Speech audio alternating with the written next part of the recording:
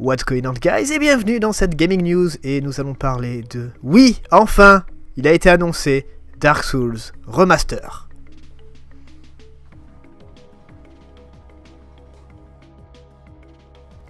Alors je vais vous faire part de toutes les informations dont on dispose pour le moment. On commence tout simplement avec la sortie du jeu, donc il est programmé pour le 25 mai 2018, donc dans pas très très longtemps.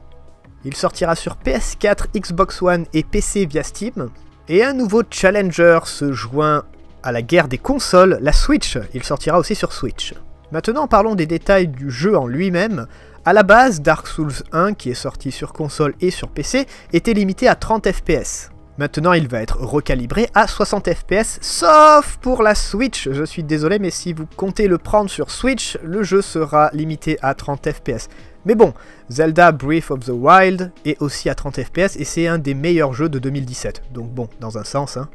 Maintenant niveau graphisme, à la base Dark Souls 1, que ça soit sur console ou sur PC, était limité à 720p. Le remaster sera à 1080p HD. Je pense et j'espère qu'il ressemblera plus ou moins à Dark Souls 3. Mais nous ne disposons d'aucune image ou d'aucun trailer pour le moment donc on ne peut pas vraiment faire une comparaison. Après, il peut être étiré jusqu'à 4K pour la PS4 Pro et la Xbox One X, et nativement sur PC. Maintenant parlons d'une des nouvelles les plus intéressantes de ce Dark Souls Remaster.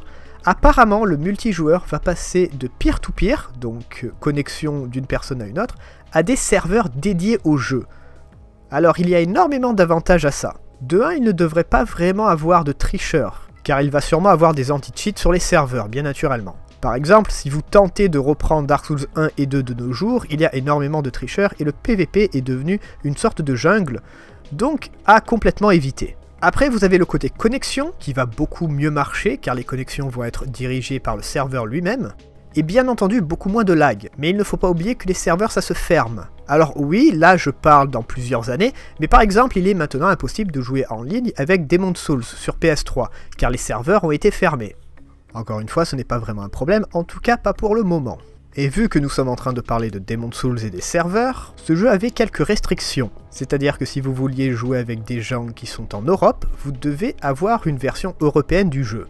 Et nous avons la même histoire pour la version américaine. Si vous voulez jouer avec des gens en Amérique, il vous faut la version américaine du jeu. Alors ce sont des détails, oui, mais il faut toujours les garder en tête. Et bien sûr, espérer qu'ils nous laissent le choix des serveurs dans ce nouveau Dark Souls.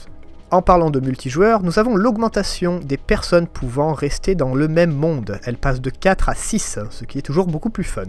Et pour ce qui est du DLC de Artorias, il sera bien entendu incorporé dans le jeu de base. Après, vont-ils rajouter des choses dans le jeu? Nous n'avons aucun indice ou nouvelle par rapport à ça, mais c'est fort possible, car Dark Souls a énormément de contenu qui a été enlevé à sa sortie, pour différentes raisons. Donc c'est fort possible qu'il rajoute quelques petites choses dans cette nouvelle version.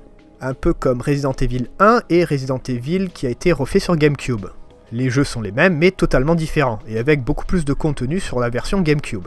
Ils vont aussi nous sortir une version collector de la franchise de Dark Souls, qui se nomme Dark Souls Trilogy Box, et qui va contenir les jeux Dark Souls 1, 2 et 3. Bien entendu, comme toute version collector, nous avons des livres, un pour chaque jeu. Nous disposons aussi des bandes son originales sur deux CD pour chaque jeu, des artworks et même des statues pour tenir vos livres en place. Ce qui coûtera approximativement entre 350 et 400 euros. Dans tous les cas, c'est une très bonne nouvelle, surtout pour les fans de la franchise. Nous allons encore manger du Dark Souls pendant quelques années, ce qui est toujours un vrai délice.